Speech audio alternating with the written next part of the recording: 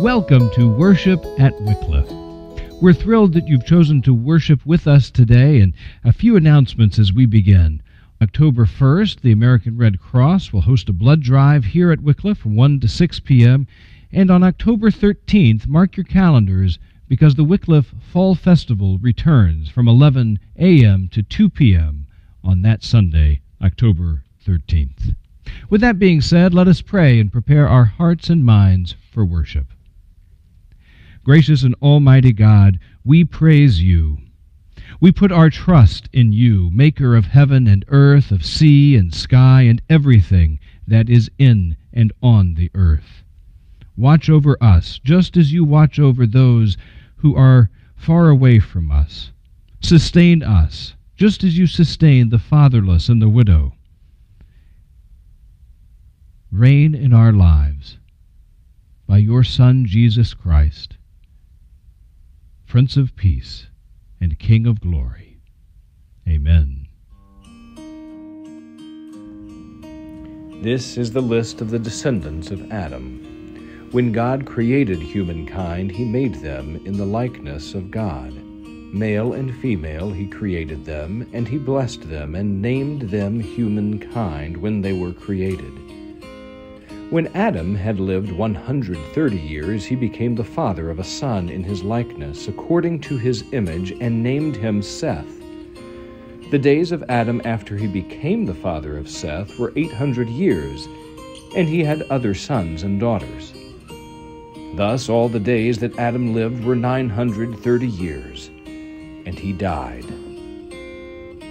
Seth was father to Enosh. Enosh father to Kenan, Kenan father to Mahalalel, Mahalalel father to Jared, Jared father to Enoch, Enoch father of Methuselah, Methuselah father to Lamech. Now when Lamech had lived 182 years, he became the father of a son, and he named him Noah, saying, Out of the ground that the Lord has cursed, this one shall bring us relief from our work and from the toil of our hands. After Noah was 500 years old, Noah became the father of Shem, Ham, and Japheth. We continue through the characters of creation, and we come to a new place in God's story. The world is getting larger, there are more names, people are living for a long time.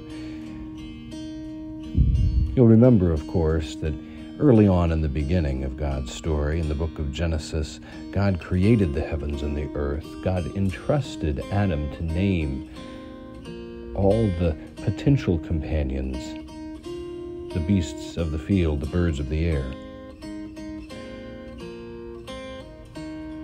So God trusted Adam to make decisions. It's a bold move. Of course, we've seen Adam and Eve make a, a decision that brought about their expulsion from the garden, where God had to lay down a boundary, but in some ways still exercised grace with Adam and Eve by casting them out and not destroying them. With Cain and his brother Abel, we see Cain murdering Abel and God once again makes a boundary, offers Cain grace, and sends him away. It's, it's not that Cain gets off easily, he doesn't. But we've just seen how sin has entered the world, how the possibility to make decisions and make bad decisions is right on top of us sometimes. But now in chapter 5, we come to this list of names, a long list of names, a, a genealogy, the ancestry.com of the Bible. We see that as sin has made its way around the world, as it's marbled itself into human experience, we see that God has not given up on the human project. Adam and Eve have a third child, his name is Seth, and Seth means to set, to appoint, to firmly place. Seth implies a foundation,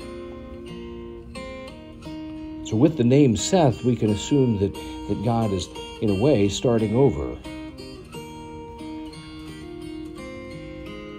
His plan has not been thwarted. His promise of redemption will march through the ages, even if it's carried by Seth and not Adam or Eve or Cain or Abel.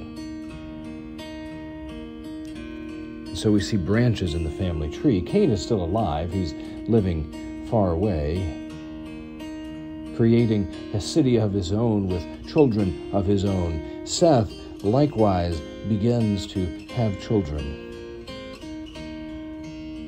And so we have here, as Daniel Darling suggests, a vivid description of the fulfillment of the curse of sin in Genesis 4 and then Genesis 5 with the elevation of faithful witnesses of Seth's, of, of Seth's descendants. But on the foundation, on the appointment of Seth, righteousness has a place in the world. And through his descendants, God will work that righteousness and trust in it, especially when it comes to one particular descendant of Seth named Noah.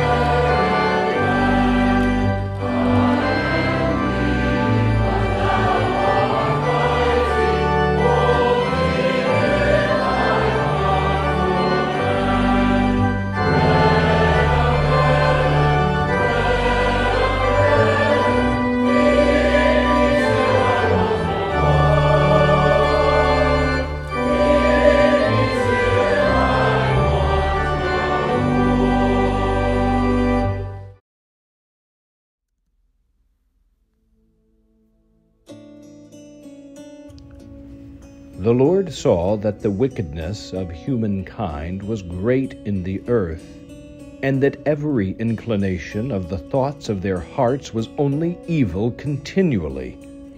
And the Lord was sorry that he had made humankind on the earth, and it grieved him to his heart. So the Lord said, I will blot out from the earth the human beings I have created, people together with animals and creeping things and birds of the air, for I am sorry that I have made them. But Noah found favor in the sight of the Lord. This is not normally the picture of God that we present at church. It's not normally the one I think we conjure up in our minds. God wanted to wipe clean the slate, and he was ready to destroy it all. But Noah found favor in God's eyes. Noah was righteous. Noah found grace. Somewhere along the line, you've probably heard that phrase it only takes one. Well, it only took one for God to not destroy the entire world. It only took Noah, who was obedient, who followed God's rules, who followed God's direction to build an ark, though everyone thought he was surely crazy. Noah built an enormous boat away from water It surely must not have been easy for Noah, or his wife, or his children. But Noah prevailed. And I think Noah prevailed mainly because, as the scriptures record several times, he did everything just as God had commanded. But he did that for a reason. You see, as the scholar writes, it, would seem that Noah's heart was turned toward what he could not see, toward the invisible God who ordered his steps. So Noah joined a large and long line of the faithful people. Generations before, there was Abel who sought the approval of the Lord rather than, than the safety of his own life. Generations later, Abraham left his home and his family to go to a place he didn't know, following a God he could not see. Still later, Joseph believed a God who allowed him to be sold by his brothers and wrongly convicted of a heinous crime. Daniel prayed to God and was willing to face slaughter by lions. The apostles would face Nero's sword. The early church would rather burn at the stake than deny Christ. Noah joins this line of witness. This is no living your best life now. Noah is a man living out his faith in obscurity. He is a mundane follower of God, but a faithful follower nonetheless. Noah finds God's grace, the same grace that the Apostle Paul talks about, the same grace that saves you and I, the grace embodied by the one who came so much later, who lived, died on a cross, and was resurrected for you and me. Now, Noah was not perfect. He was faithful, but he was not perfect. And that gives hope to you and I, for we too can be faithful, and perfection is not the goal, but faithfulness is. When Noah found grace with God and built the ark and obeyed God and did all of the things, he ends up telling us of a God who rescues his people from the water of judgment. It's like the scripture from Isaiah when you pass through the waters, I will be with you. We've seen Jesus pass through the waters for us, first in his baptism where the Spirit took the form of a dove, similar to the dove that came down on Noah's ark so long ago, signaling the receding of the waters.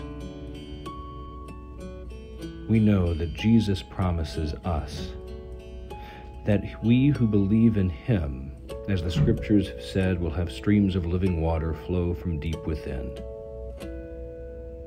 God promises each of us a new creation a new heavens and a new earth.